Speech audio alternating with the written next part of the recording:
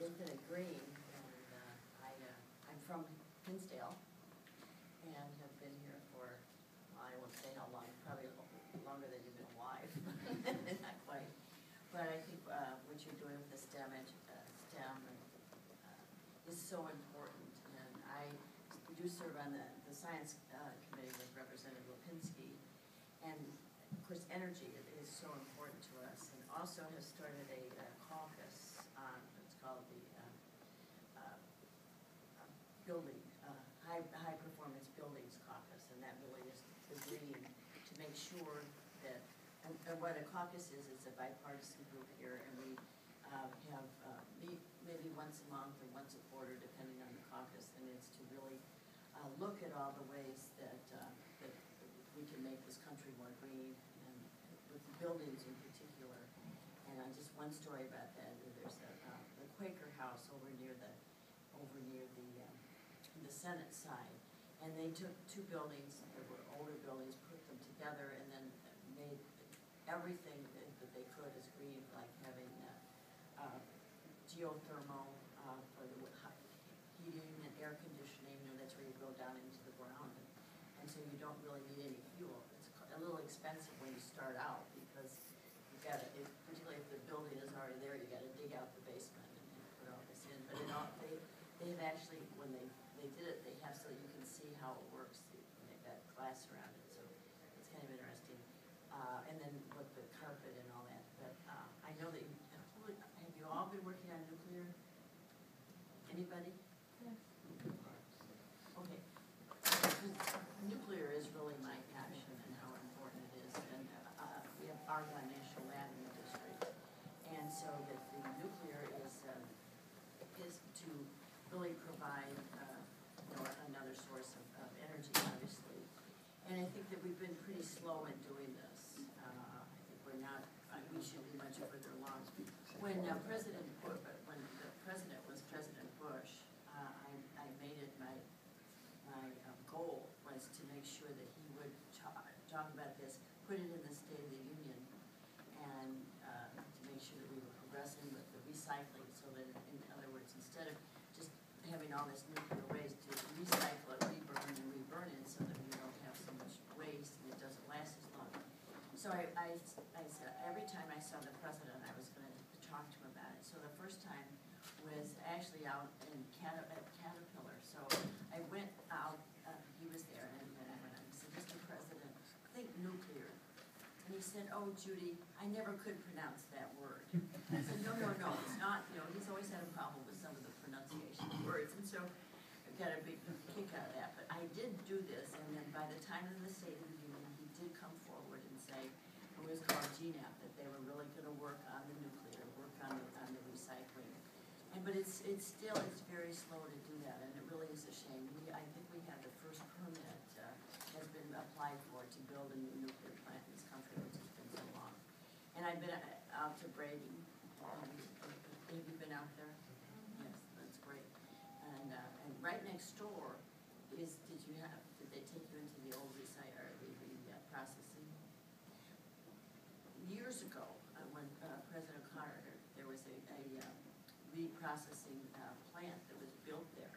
There were six in the country and they were all shut, shut down by the president. And and this was like a time warp, going back to see this uh, building. And Most of the equipment had been taken out, but is now used as, as the, the pools for, for nuclear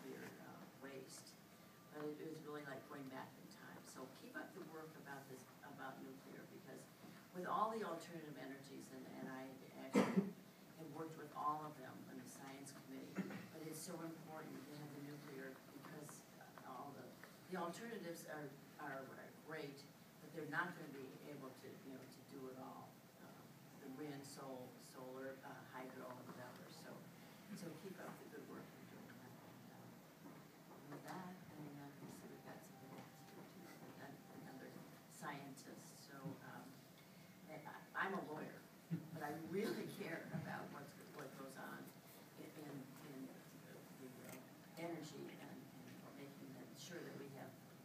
more green.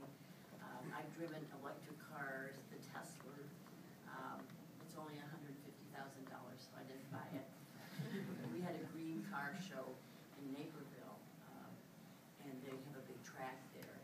Uh, I've driven uh, hydrogen cars. That was a BMW on the on the uh, um, at Argonne. They wouldn't let me drive it all.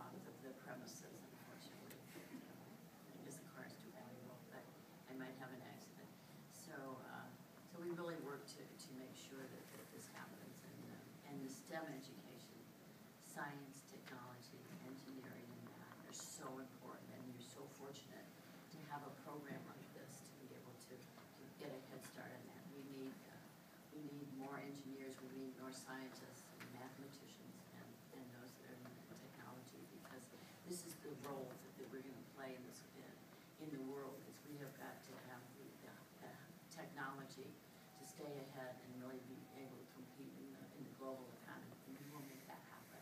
So, thank you for all that you do.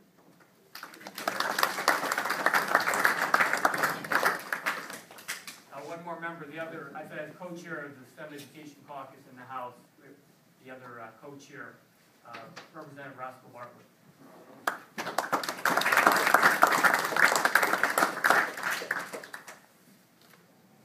Every fifteen hours, there's another uh, billion dollar increase in our trade deficit. And this year, the uh, Chinese will graduate seven times as many engineering students as we graduate. And about half of our engineering uh, graduates are Chinese students. Uh, These two uh, statistics are are related. Uh, One of the reasons that we have this huge trade deficit is because the Chinese are graduating seven times as many engineering students as we are, and because we just aren't doing much of this kind of thing in our country, which is why it's hard to go to a store to buy something made in America. So what you're doing is enormously important to the uh, security of our country, to the economic uh, future of our, of our country. I talk to uh, young people and ask them uh, what they're going to uh, uh, be doing. And increasingly, uh, they're raising their hands saying they're going to become lawyers and political scientists. I'm glad that Judy's gone. I think we have, she's a very nice lady. Uh, We have quite enough lawyers, thank you, uh, in, in- our country. And what we desperately need are scientists, mathematicians, and engineers so that we can compete in a world that's increasingly uh, uh, uh, technical. When the last time that the White House invited a- an academic achiever there and slobbered all over them the way they do sports figures and entertainers?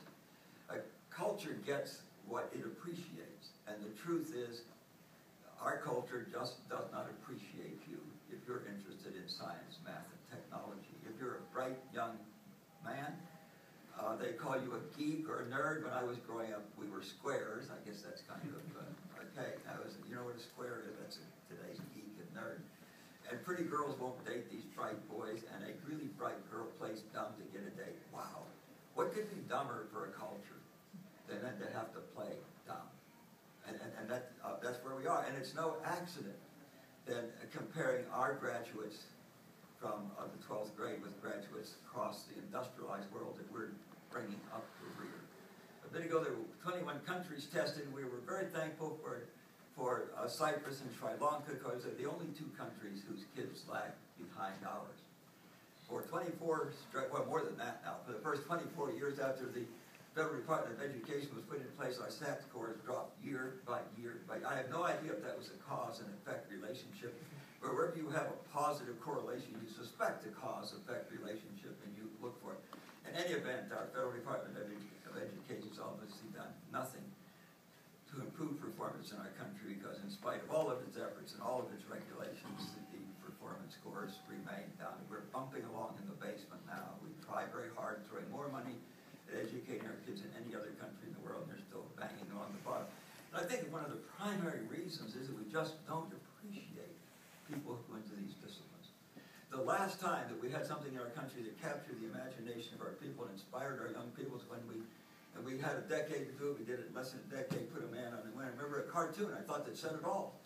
It was a young uh, kid with a buck-toothed, red, uh, freckle-faced kid. He said, six months ago, I couldn't even spell engineer, and now I are one. Uh, you know, everybody wanted to be into this, into this technology. It was very inspiring, and we need, we need to do that again. The thing that you're focusing on alternative energy, and it's not, this is not just an option, it's an absolute requirement. We will transition from fossil fuels to alternative energy because fossil fuels are finite. They will not last forever. The only question is, when will that transition ultimately occur? It started in our country in nineteen hundred seventy. We reached our maximum oil production in nineteen seventy. Today, we produce half the oil we did in nineteen seventy. Fortunately, the rest of the world was not at that point, so we could get oil from them. We get now with two-thirds of our oil, about two-thirds of our oil from overseas. So the alternative energy thing is not just something that's green, something that's an absolute essential. We're gonna transition there. If you're wildly optimistic about all the alternatives to oil, they can't even come close to eighty-four million barrels a day. So what Judy was saying, we need to look to nuclear, amen. We also need to look at, at at, at a structure where we can live happily with less energy. The average European uses half the energy we do, and it's hard to argue that they aren't as happy as we are. So thank you all very much for what you're doing. We have a challenging future. We're happy you're going to be there to help us. Thanks a lot.